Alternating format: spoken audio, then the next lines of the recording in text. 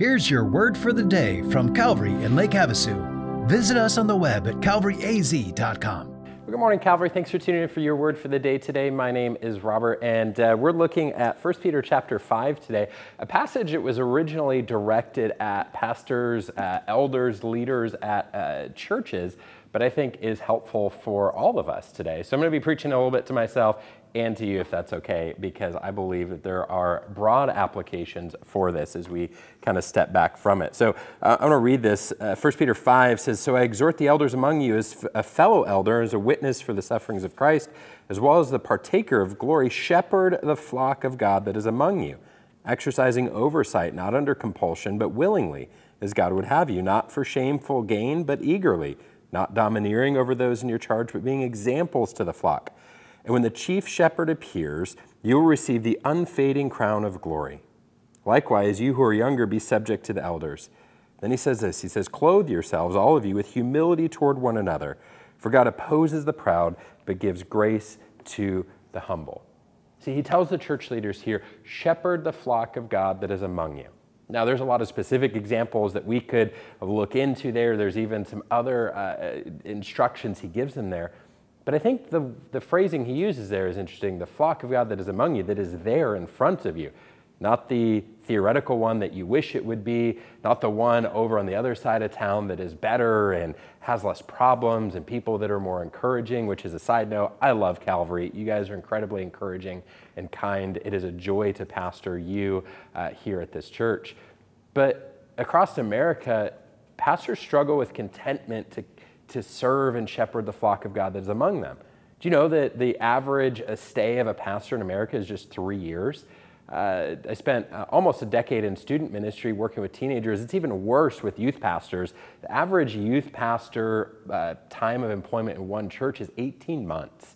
Um, and so much of that speaks to the lack of contentment that we as humans struggle with. That's not just pastors, can we all agree that we as people struggle to be content?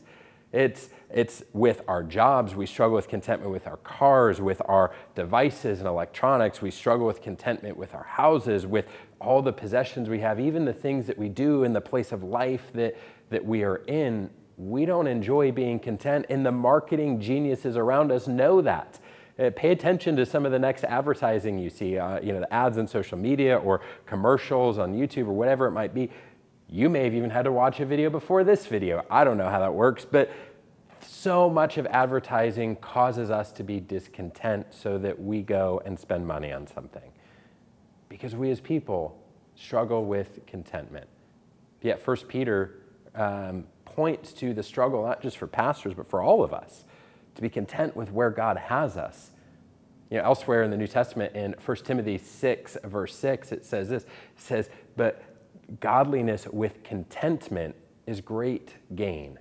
There's great value in us pursuing godliness with contentment. And so today I want to challenge you to reflect on are you content with where God has you right now?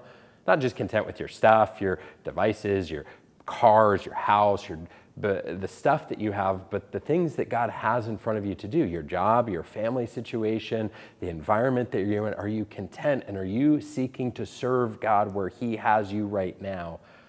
Or are you just trying to think ahead to, well, I'll serve God when this thing happens, when I'm in this situation, when I have more free time here, when I finally retire, then I'll volunteer and serve? Or are you willing to, with humility, say that? God's plan for your life is better than your plan. Did you catch how he ends here?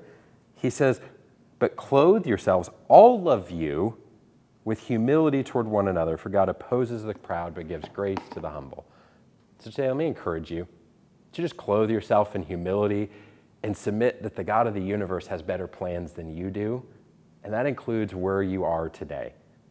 And seek to be content and serve and take advantage of the ministry opportunities that are right in front of you, not the hypothetical ones that are down on the horizon. Hope that you have a great day, Calvary, and we'll see you next time.